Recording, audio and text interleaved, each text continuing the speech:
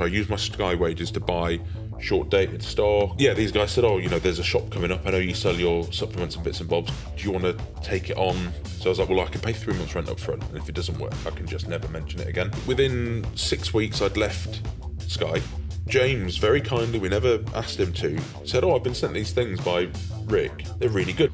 And it sold out. Sold out that weekend. Strom is in 36 countries. I bought a V10 M5, an F90 M5, a McLaren 600 LT. I was fast asleep and I remember waking up. You wake up, I feel strange. Ring an ambulance, like, what? I was like, I think I'm having a heart attack. Um, and I was like, if this is just the way I'm stuck, I don't want to be alive.